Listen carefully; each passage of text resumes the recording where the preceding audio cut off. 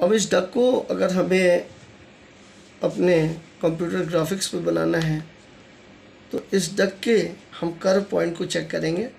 जैसे हमें हेड पे एक कर्व पॉइंट ये मिल रहा है दिस एंड दिस फिर एक नेक का हमें कर्व पॉइंट मिल रहा है दिस नेक का जो टर्न है, उस पर कर्व पॉइंट मिल रहा मुझे, ऐसा। फिर विंग पे हमें कर्व पॉइंट मिल रहा है, ऐसा। फिर इसके विंग के टर्न जो है उस पर भी हमको कर पॉइंट मिल रहे हैं। फिर इसका बेस है, इस पर कर्व पॉइंट मिल रहा है। फिर इसका नेक है, और नेक पे हमें कर पॉइंट मिल रहा है। फिर एक कर पॉइंट ये सारे कर्व पॉइंट पे हम आउटलाइन अकॉर्डिंग टू कर्व हम इसको ड्रॉ करेंगे।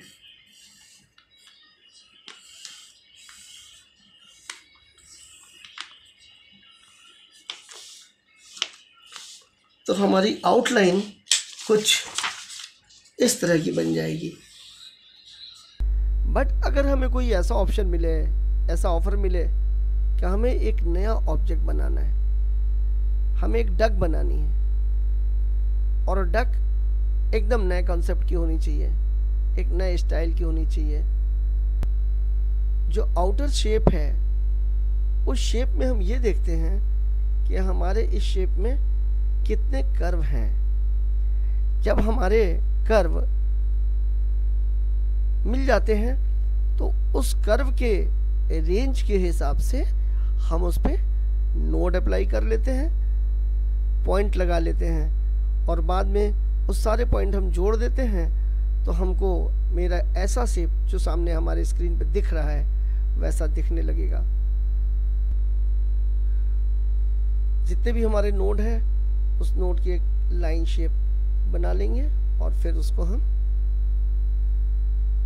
हमारा डक का आउटर शेप हमें मिल जाता है और उसे कंप्यूटर्स पे कैसे बनाते हैं, ये मैं आपको दिखा रहा हूँ। नोट के हिसाब से हमने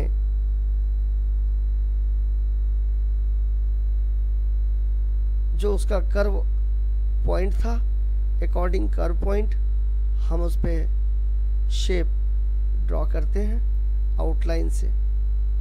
और आउटलाइन का शेप ड्रॉ करने के बाद हम शेप टूल से उसके नोट को अगर कुछ हमें सेट करना है, उस नोट को हम पहले सेट कर लेते हैं। अपने एवरेज के हिसाब से हमें ये जॉब बनाना होता है, क्योंकि जैसा हम नोट शेप करेंगे, वैसा ऑब्जेक्ट हमारा बन के आएगा। हमने नोट सेट कर लिया जो भी नोट आगे पीछे करने हैं, हमने उसको सबको सेट कर लिया, और अब सारे नोट को हमने सेलेक्ट कर लिया और टू कर्व किया।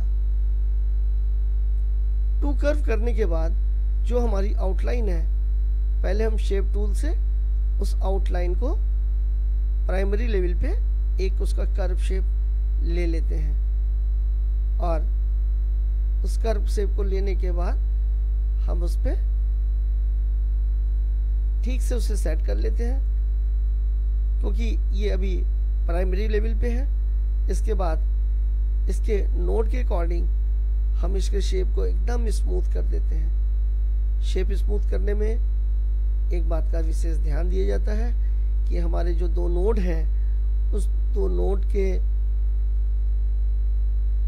पैलर, इस साइड का नोट और उस साइड का नोट के जो एंगल हैं, वो 180 डिग्री के ऊपर होने चाहिए। अभी जैसा आप देख रहे हैं, पहला स्टेप बनाने के बाद हमने उसकी ये कॉपी कर ली और यहाँ पे अब आपको डिटेल मिलेगा। देखिए, इसमें जो ये एंगल टाइप का निकल के आ रहा है हेड में और नेक के बीच में तो उसके नोट को हमने सेलेक्ट करके 180 डिग्री पे स्मूथ किया है इसको। तो ये देखिए, एकदम स्मूथ आ गया, गोल हो गया ये। इसी तरह हम इसके नेक के पास को जूम करेंगे और नेक को थोड़ा सा आगे बढ़ाएँगे ताकि इसमें एक कर्व सेट आ जाए और कर्व सेट आने के बाद इसको हम फिर से सारे नोट पे काम कर रहे हैं। एकदम एक्यूरेट होना चाहिए। स्मूथनेस का ध्यान रखेंगे और फिर हम इसको शेप दे देंगे। अब जाके थोड़ा फाइनल शेप पे ही आ रहा है और अब इसको भी थोड़ा बाहर निकालें ताकि इसका कर्व स्मूथ हो जाए।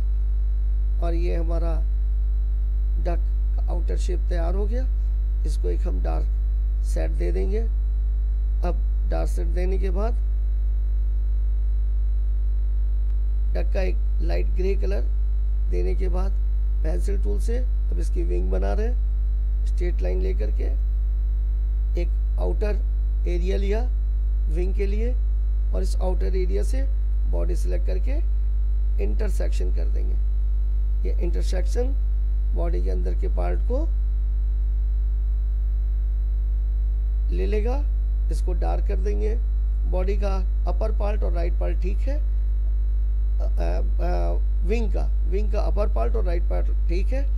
लोअर पार्ट को हम थोड़ा सा नीचे कर्व करके शेप दे देंगे। और ये शेप हमारा, ये ऐसे करके शेप अप हमारा आ गया। अब विंग को छोटा करेंगे। इसको वाइट कलर दे देंगे। थोड़ा ऊपर रखिए, हमें लग रहा थोड़ा छोटा ज़्यादा है, थोड़ा सा बड़ा कर लेंगे। और आपस में इस वाइट विंग और ग्रे विंग को ब्लेंड करेंगे और ब्लेंड का स्टेप फाइव रखेंगे।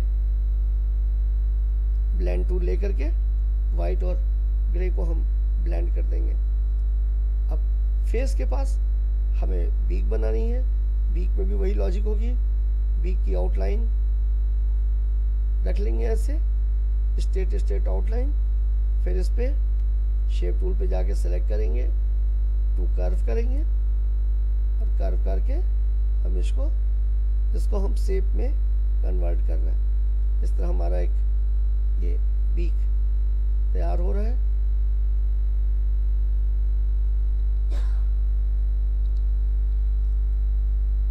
बीक को स्मूथ करेंगे 180 डिग्री और इसको येलो कलर करके थोड़ा सा रेड मिला देंगे। लेमन इसकी आइज़ बना रहे हैं। पहला सर्किल इसको रेड कर रहे हैं। इसको थोड़ा छोटा कर रहे हैं। ये सर्किल येलो कर रहे हैं और इसको छोटा कर रहे हैं। और ये सर्किल हमारा ब्लू या ब्लैक जो भी करना हो कर देते हैं। थोड़ा सेट करते हैं, कहाँ पे रहना चाहिए? अब ठीक है। ओके? और इस तरह आप देखेंगे कि हमारा डक तैयार हो गया। कोशिश करिएगा, बनाइएगा इसको, कोई प्रॉब्लम हो हमें कॉल करिएगा, पसंद आए तो लाइक ज़रूर करिएगा और इसको सब्सक्राइब करिएगा ताकि मैं अगला वीडियो आपको दे सकूँ। Okay thank you